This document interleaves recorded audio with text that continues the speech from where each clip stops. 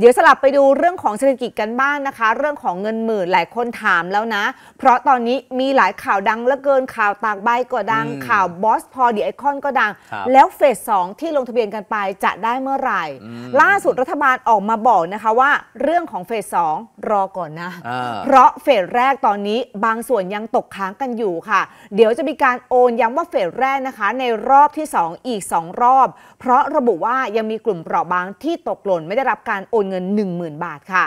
เมื่อวานนี้นายกอิงแพทองทานแถลงหลังการประชุมนะคะ เป็นประธานการประชุมคอรมอเรื่องโครงการแจกเงิน 10,000 บาท เพื่อกระตุ้นเศรษฐกิจ โดยบอกว่าเฟสแรกที่มีการโอนเงินกันไป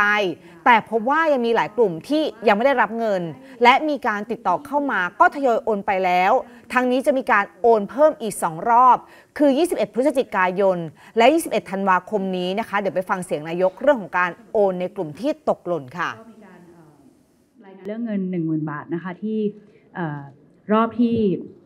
มีการโอนตังไปแล้วเนี่ยแล้วก็มีหลาย ๆ กลุ่มนะคะที่ยังไม่ได้นะคะ ก็มีการติดต่อเข้ามา แล้วก็มีการทยอยโอนไปแล้วนะคะ แล้วก็เหลือมีการโอนเพิ่มอีก 2 รอบนะคะ นั่นก็คือวันที่ 21 พฤศจิกายนกับ 21 ธันวาคมค่ะ เออตอนแรกหลายคนดูข่าวดีใจแล้วนะ อืมนึกว่าเฟสสองมาแล้วเป็นเฟสแรกครับอีก 2 รอบนะคะ กลุ่มตกหล่นก็ยังไงไปติดต่อผูกพร้อมเพย์กันซะอ่า ขณะเดียวกันคุณจุลพรอ่าจุลพันธ์อมรวิวัฒน์นะคะ รัฐมนตรีช่วยว่าการกระทรวงการคลัง ชี้แจงเรื่องของการโอนรอบที่ 2 เพิ่มเติมบอกว่า เมื่อวันที่ 21 ตุลาคมที่ผ่านมาโอนให้ 2 กลุ่มไปแล้ว คือกลุ่มถือบัตรสวัสดิการแห่งรัฐ 371,591 คน โอนสำเร็จไปส่วนหนึ่งคือ 311,751 คน และมีกลุ่มผู้พิการตกค้างอีก 43,317 คน โอนสำเร็จไปแล้ว 38,265 คน ทีนี้พอรวม 2 กลุ่มที่คงค้างมาตั้งแต่รอบแรกเท่ากับว่าต้องโอนให้สำเร็จอีกประมาณ 65,000 คนนะคะอืมกลุ่มนี้ 90%ปัญหาที่เกิดขึ้นคือเรื่องของการผูกพร้อมเพย์ครับบัญชีอาจจะยังไม่ตรงกับเลขบัตรประชาชนยังไม่ได้ผูก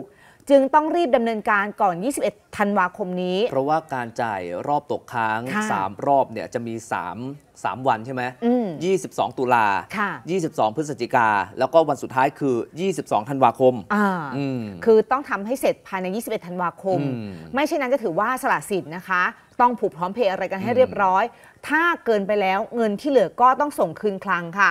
ส่วนการดำเนินการที่ผ่านมาคุณจุลพันธ์บอกว่า รอบแรกและรอบเก็บตก รวมทั้งหมด 14.55 ล้านคนที่ได้เงินหมื่นไปนะคะ พบว่า 99.5%จากการประเมินผลสำรวจ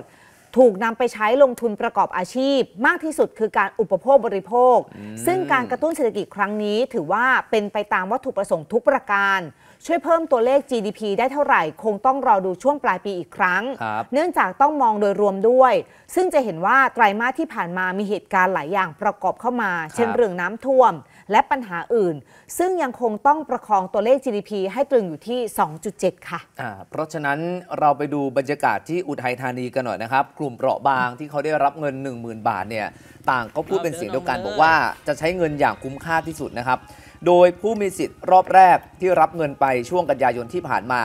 ก็นำเงินตรงเนี้ยไปซื้อสินค้าอุปโภคบริโภคในครัวเรือนนะครับ ก็จะเห็นได้ชัดนะครับว่าทำให้เศรษฐกิจในพื้นที่มีความคึกคักมากขึ้น บางคนก็เอาเงินตรงนี้ไปต่อยอดอาชีพเดิมที่ทำรวมถึงเอาไปสร้างอาชีพหาไรายได้เลี้ยงตัวเองและครอบครัวนะครับ อย่างคุณส้มปันพงธันกา อายุ 63 ปีนะฮะรับจ้าง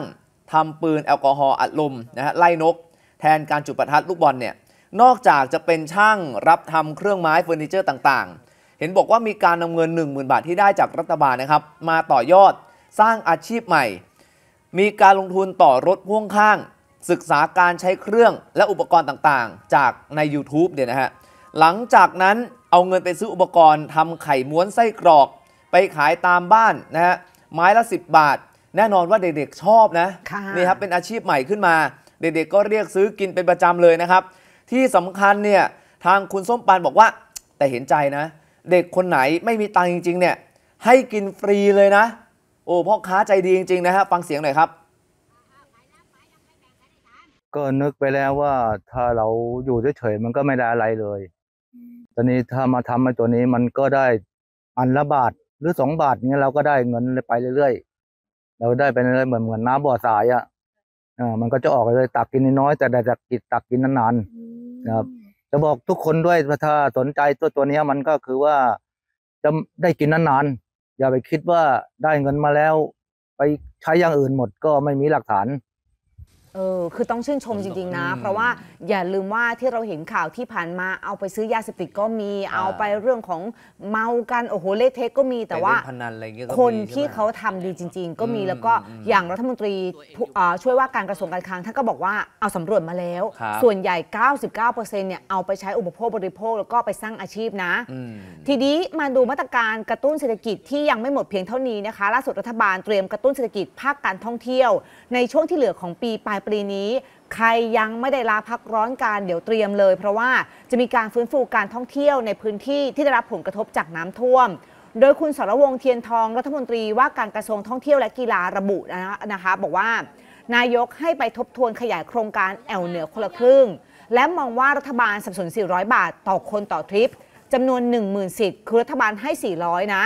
ใช้งบของทททหรือว่าการท่องเที่ยวแห่งประเทศไทย รวมทั้งหมด 4 ล้านบาท มองว่า 400 บาทมันเล็กไปอืมอืมอืมจึงมอบหมายให้ไปหารือกันกับกระทรวงการคลังหาแหล่งเงินมาทำโครงการเพิ่มขณะนี้ทททเองอยู่ระหว่างการรวบรวมข้อมูลสินค้า บริการท่องเที่ยวต่างๆ ในแอปพลิเคชัน ที่สามารถใช้จ่ายกับโครงการได้ ส่วนรายละเอียดจะเปิดให้ประชาชนลงทะเบียนรับสิทธิ ภายในวันที่ 1 พฤศจิกายนนี้นะคะ เฟสแรกจำกัดสิทธิที่ 10,000 สิทธิ์ แต่ประเด็นสำคัญ คือไม่ได้เน้นคนกรุงเทพที่ต้องบินไปเที่ยวภาคเหนือหรือเชียงใหม่เชียงรายอืมแต่จะให้ส่วนช่วยในการสนับสนุนเงิน 400 บาท เน้นให้ประชาชนในภูมิภาคเดียวกันนั่นแหละ หรือจังหวัดใกล้เคียงนะคะ เดินทางท่องเที่ยวระหว่างกันก่อน เพื่อกระตุ้นการใช้จ่ายในภูมิภาค ประเมินเอาไว้ว่า 7,000 สิทธิใช้จ่ายที่เชียงใหม่และเชียงราย ส่วนที่เหลือจะอยู่จังหวัดใกล้เคียงในภาคเหนือค่ะทีนี้มาดูโครงการเราเที่ยวด้วยกันยืนยันว่าปี 68 จะเริ่มทำเหมือนกันนะคะ แต่เนื่องจากโครงการใช้งบประมาณสูงทำให้ต้องหารือเพิ่มเติม เพื่อพิจารณางบประมาณจำนวนสิทธิ แล้วก็สิ่งที่จะให้ประชาชนมาเข้าร่วม รวมถึงรูปแบบการใช้จ่ายว่าผ่านช่องทางไหน โดยรัฐจะร่วมอุดหนุนที่ 40%เท่าเดิมหรือไม่ก็ต้องหารือกันเพื่อความชัดเจนอีกครั้งหนึ่งค่ะ